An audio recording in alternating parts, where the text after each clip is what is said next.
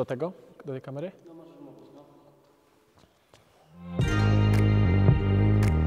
Pewnie niejednokrotnie widzieliście, że osoby, które ćwiczą różne sztuki walki, wykonują troszeczkę inne pompki niż te, które znamy z prostych ćwiczeń. Robimy je na pięściach, a dokładnie na tych dwóch pierwszych kościach. Te dwie pierwsze kości nazywają się seiken. To jest nasz celownik przy każdym uderzeniu. Hop, czołg kucuki w miejscu, w przejściu. Dokładnie te dwie pierwsze kości. Seiken. Wykonywanie pompek na seiken pomaga w ustabilizowaniu naszego nadgarstka.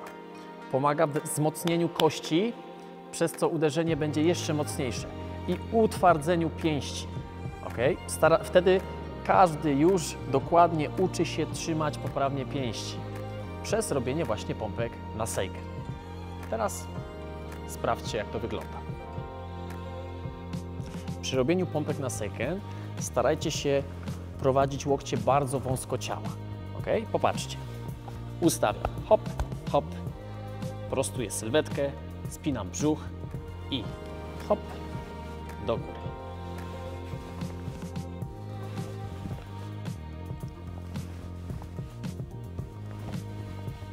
Co zrobić, żeby mieć jeszcze większą petardę w ręce? Zróbcie pompki na twardej powierzchni. Najpierw zacznijcie sobie od maty, później przechodzicie na coś twardszego i zaczynacie robić pompki. Uprzedzam, że nie jest to przyjemne, ale na pewno jest bardzo skuteczne.